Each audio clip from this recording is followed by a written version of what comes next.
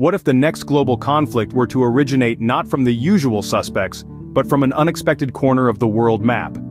Picture this, the escalating tension between Iran and Pakistan, a situation that demands our attention, yet remains for many, a mystery. In the grand tapestry of international relations, the threads of Iran and Pakistan's ties have seen a dramatic shift. This story begins in the early 2000s, where bilateral relations between the two countries were relatively stable.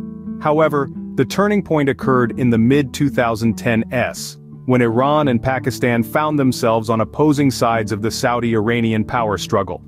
A geopolitical contest for dominance in the Muslim world. As the decade progressed, the tension grew more palpable. A string of border clashes and diplomatic disputes added fuel to the fire.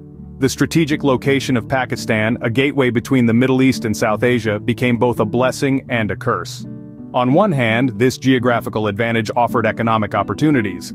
On the other, it drew Pakistan into a vortex of regional conflicts.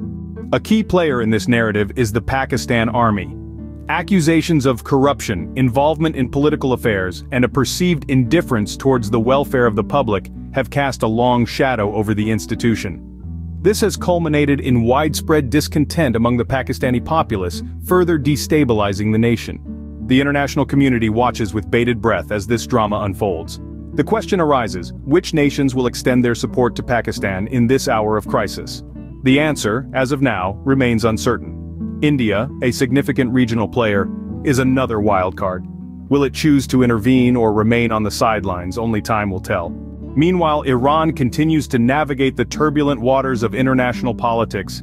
Its actions, particularly its sectarian policies in Iraq and other countries, have drawn global condemnation. The country's alleged promotion of Shia supremacy has not only strained its relations with Sunni-majority nations but also bred internal dissent. To summarize, the rising tension between Iran and Pakistan is a complex issue, deeply rooted in power politics, strategic locations, and internal strife. The role of the Pakistan Army and the corruption allegations it faces contribute significantly to Pakistan's current predicament. The international community's response, particularly India's stance, will play a crucial role in shaping the future of this region. Iran's sectarian policies meanwhile, continue to fan the flames of discord. Remember in the global chess game of diplomacy, the next move can change everything.